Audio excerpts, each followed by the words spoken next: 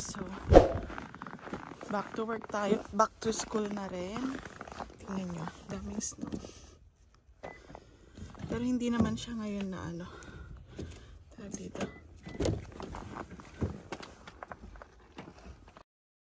Naulan ng snow.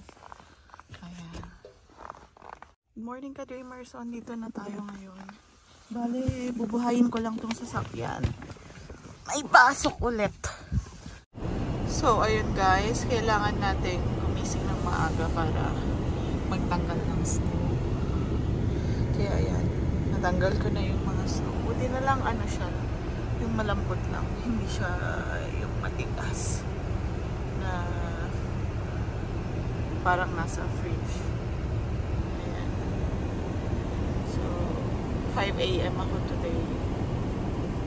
Nainitin lang natin ng kaunti. Then, tara na ulit. A few moments later. So guys, andito na tayo ngayon sa Rona Plus.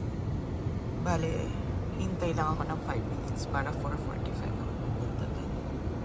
Ayun na nga, back to school na naman. Then, back to normal routine. May pasok si Kayden, may pasok ako sa online class lang naman. Pero madaming ginagawa. Kaya, medyo busy-busy na naman ulit tayo this January.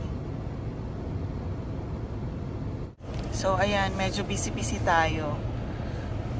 Malaki na naman eyebags natin. Ayan, share ko lang pala yung nagtatanong sa work. Um, as of now, kuya, mahirap talagang maghanap ngayon during winter time. Pero, sabi ko nga, try, try mo mag-walk in sa mga malapit sa inyo.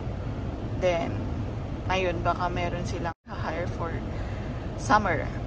Pero update na lang din kita. Message mo na lang ako, kuya. Para tingnan natin kung may mahanap tayong work din. Salamat. Ayun. So, tara na. Punta na tayo, guys.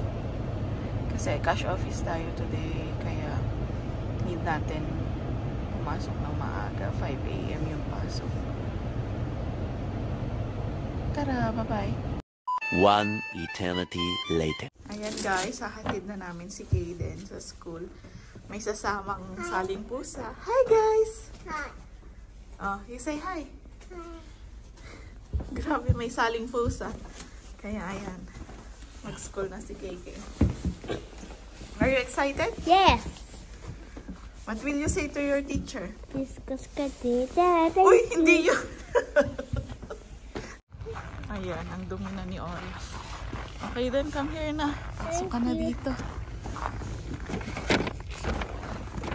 Oops! Huwag mong tatapakan, anak pala. Hawakan mo tong gift mo sa classmate mo.